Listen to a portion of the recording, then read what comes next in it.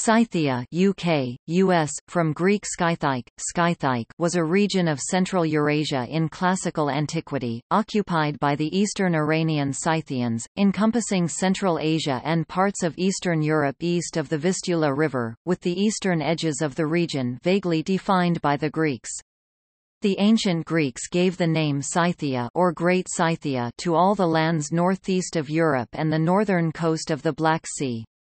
During the Iron Age the region was saw the flourishing of Scythian cultures. The Scythians, the Greeks' name for this initially nomadic people, inhabited Scythia from at least the 11th century BC to the 2nd century AD.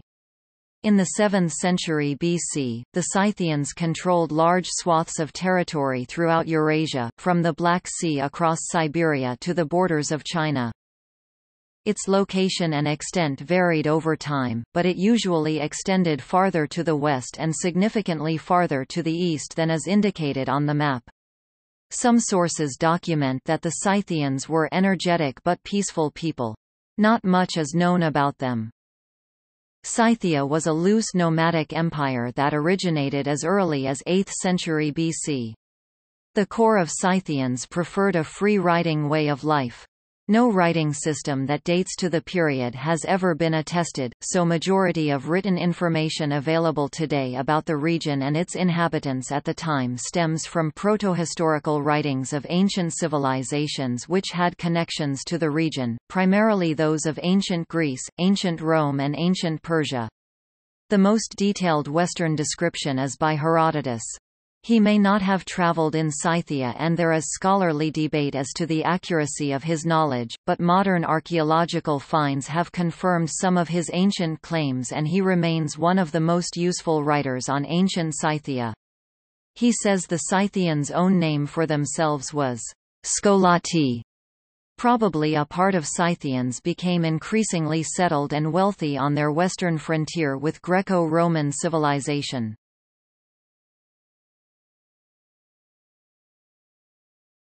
Topic: Geography. The region known to classical authors as Scythia included the Pontic-Caspian steppe, southeastern Ukraine, southern Russia, Russian Volga, South Ural regions and western Kazakhstan inhabited by Scythians from at least the 8th century BC. Genetic evidence for ranging clear across the plains steppes from Black Sea to Lake Baikal. The Kazakh steppe, northern Kazakhstan and the adjacent portions of Russia. Sarmatia, corresponding to eastern Poland, Ukraine, southwestern Russia, and the northeastern Balkans, ranging from the Vistula River in the west to the mouth of the Danube, and eastward to the Volga. Saka Tigraxauda, corresponding to parts of Central Asia, including Kyrgyzstan, southeastern Kazakhstan, and the Tarim Basin. Sistan or Sakastan, corresponding to southern Afghanistan, eastern Iran, and southwestern Pakistan, extending from the Sistan Basin to the Indus River. Following successive invasions of the Indo-Greek kingdoms, the Indo-Scythians also expanded east, capturing territory in what is today the Punjab region. Parama Kamboja, corresponding to northern Afghanistan and parts of Tajikistan and Uzbekistan. Alania, corresponding to the northern Caucasus region. Scythia Minor, corresponding to the lower Danube River area west of the Black Sea, with a part in Romania and a part in Bulgaria.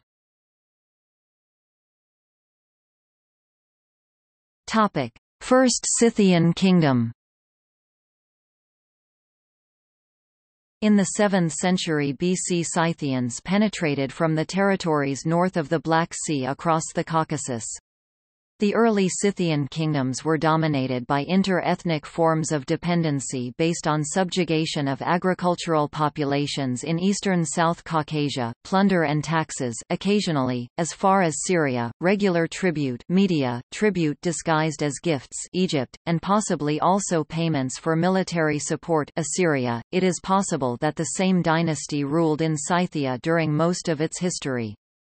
The name of Kolaksai, a legendary founder of a royal dynasty, is mentioned by Alcman in the 7th century BC. Prototi and Madius, Scythian kings in the Near Eastern period of their history, and their successors in the North Pontic steppes belong to the same dynasty.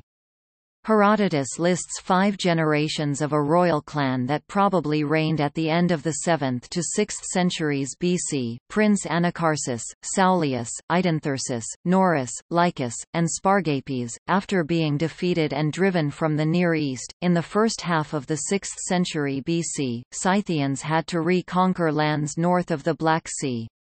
In the second half of that century, Scythians succeeded in dominating the agricultural tribes of the forest steppe and placed them under tribute.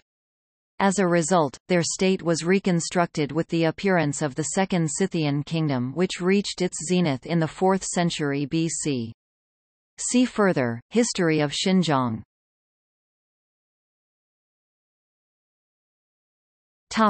Second Scythian Kingdom Scythia's social development at the end of the 5th century BC and in the 4th century BC was linked to its privileged status of trade with Greeks, its efforts to control this trade, and the consequences partly stemming from these two. Aggressive external policy intensified exploitation of dependent populations and progressed the stratification among the nomadic rulers. Trading with Greeks also stimulated sedentarization processes. The proximity of the Greek city-states on the Black Sea coast Pontic Olbia, Cimmerian Bosporus, Chersonesos, Syndica, Tanais was a powerful incentive for slavery in the Scythian society, but only in one direction, the sale of slaves to Greeks, instead of use in their economy. Accordingly, the trade became a stimulus for capture of slaves as war spoils in numerous wars.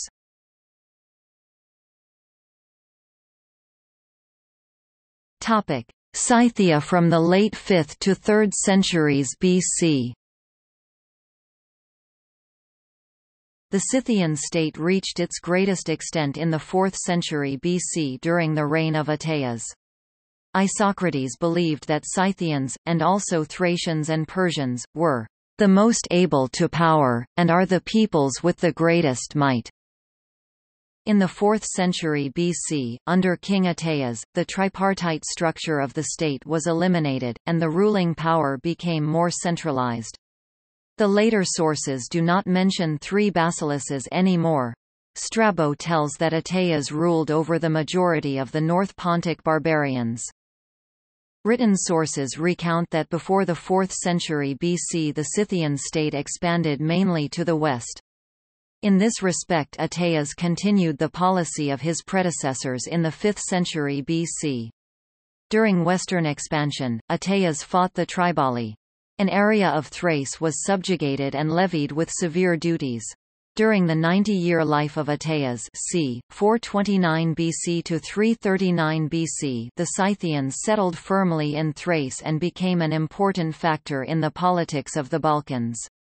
At the same time, both the nomadic and agricultural Scythian populations increased along the Dniester River. A war with the Bosporan kingdom increased Scythian pressure on the Greek cities along the North Pontic littoral. Materials from the site near Kamianka Dniprovska, purportedly the capital of Ateas state, show that metallurgists were free members of the society, even if burdened with imposed obligations. Metallurgy was the most advanced and the only distinct craft speciality among the Scythians. From the story of Polyaenus and Fronton, it follows that in the 4th century BC Scythia had a layer of dependent population, which consisted of impoverished Scythian nomads and local indigenous agricultural tribes, socially deprived, dependent and exploited, who did not participate in the wars, but were engaged in servile agriculture and cattle husbandry. The year 339 BC proved a culminating year for the Second Scythian Kingdom, and the beginning of its decline. The war with Philip II of Macedon ended in a victory for Philip, the father of Alexander the Great. The Scythian king Ateas fell in battle well into his nineties. Many royal kurgans Chertomlik, Kul Oba, Alexandropol, Krasnokut date from after Ateas's time and previous traditions were continued, and life in the settlements of western Scythia show that the state survived until the 250s BC. When in 331 BC Zopyrion, Alexander's viceroy in Thrace, not wishing to sit idle, invaded Scythia and besieged Pontic Olbia, he suffered a crushing defeat at the hands of the Scythians and lost his life. The fall of the Second Scythian kingdom came about in the second half of the 3rd century BC under the onslaught of Celts and Thracians from the west and of Sarmatians from the east. With their increased forces, the Sarmatians devastated significant parts of Scythia and annihilating the defeated, transformed a larger part of the country into a desert. The dependent forest steppe tribes, subjected to exaction burdens, freed themselves at the first opportunity. The Dnieper and southern Bug populace ruled by the Scythians did not become Scythians. They continued to live their original life, which was alien to Scythian ways. From the 3rd century BC for many centuries the histories of the steppe and forest steppe zones of the North Pontic area diverged. The material cultures of the populations quickly lost their common features. And in the steppe, reflecting the end of nomad hegemony in Scythian society, the royal kurgans were no longer built. Archaeologically, late Scythia appears first of all as a conglomerate of fortified and non-fortified settlements with abutting agricultural zones. The development of Scythian society featured the following trends. The process of settlement intensified, as evidenced by the appearance of numerous kurgan burials in the steppe zone of the North Pontic Caspian steppe.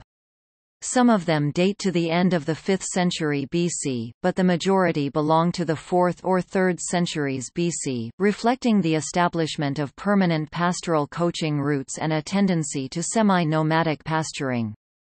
The lower Dnieper area contained mostly unfortified settlements, while in Crimea and western Scythia the agricultural population grew.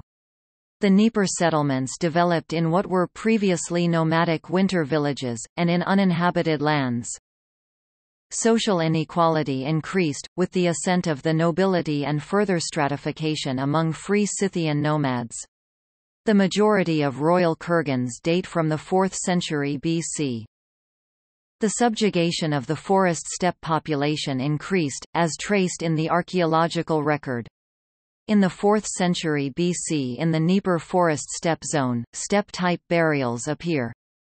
In addition to the nomadic advance in the north in search of the new pastures, they show an increase of pressure on the farmers of the forest steppe belt.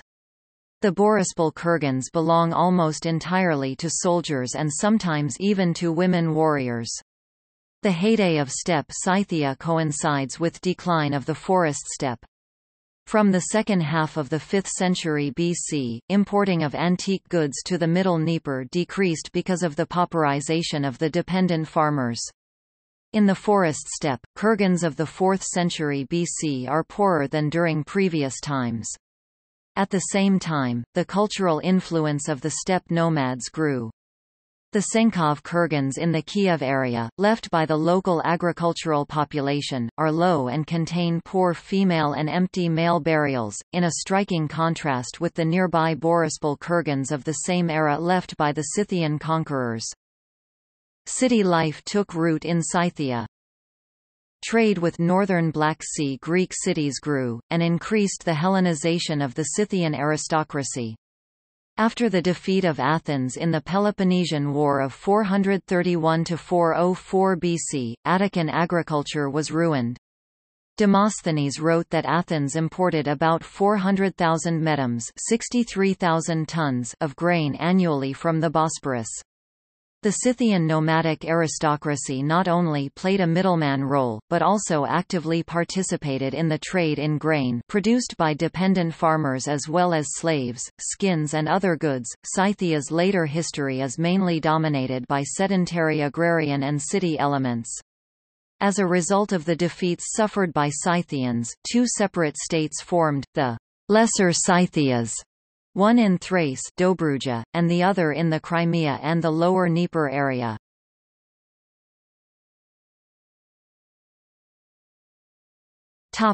Later Scythian kingdoms Having settled this Scythia Minor in Thrace, the former Scythian nomads or rather their nobility abandoned their nomadic way of life, retaining their power over the agrarian population. This little polity should be distinguished from the Third Scythian kingdom in Crimea and Lower Dnieper area, whose inhabitants likewise underwent a massive sedentarization. The interethnic dependence was replaced by developing forms of dependence within the society. The enmity of the Third Scythian Kingdom, centered on Scythian Neapolis, towards the Greek settlements of the northern Black Sea steadily increased. The Scythian king apparently regarded the Greek colonies as unnecessary intermediaries in the wheat trade with mainland Greece. Besides, the settling cattlemen were attracted by the Greek agricultural belt in southern Crimea. The later Scythia was both culturally and socio-economically far less advanced than its Greek neighbors such as Olvia or Chersonesos. The continuity of the royal line is less clear in the lesser Scythias of Crimea and Thrace than it had been previously. In the 2nd century BC, Olvia became a Scythian dependency. That event was marked in the city by minting of coins bearing the name of the Scythian king Scilurus. He was a son of a king and a father of a king, but the relation of his dynasty with the former dynasty is not known. Either Scilurus or his son and successor Palakus were buried in the mausoleum of Scythian Neapol that was used from c. 100 BC to c. 100 AD. However, the last burials are so poor that they do not seem to be royal, indicating a change in the dynasty or royal burials in another place. Later, at the end of the 2nd century BC, Olvia was freed from Scythian domination, but became a subject to Mithridates I of Parthia. By the end of the 1st century BC, Olbia, rebuilt after its sack by the Getae, became a dependency of the Dacian barbarian kings, who minted their own coins in the city. Later from the 2nd century AD Olbia belonged to the Roman Empire. Scythia was the first state north of the Black Sea to collapse with the invasion of the Goths in the 2nd century AD COIUM. At the end of the 2nd century AD, King Sauromates II critically defeated the Scythians and included the Crimea into his kingdom of the Cimmerian Bosporus, a Roman client state.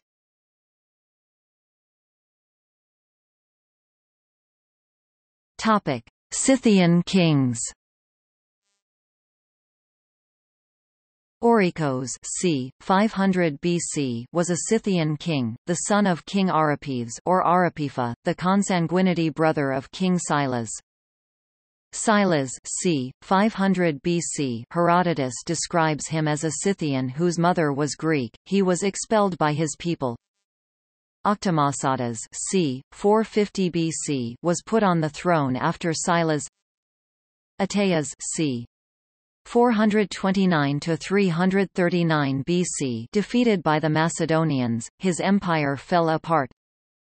Scilurus c. 125 to 110 BC died during a war against Mithridates VI of Pontus. Palakus c. 100 BC the last Scythian ruler, defeated by Mithridates. Topic: Scythian tribes. Many different groupings of Scythian tribes include the following. Topic. See also. European Scythian campaign of Darius I Indo-Scythians. Maeotian swamp. Sarmatia Scythian art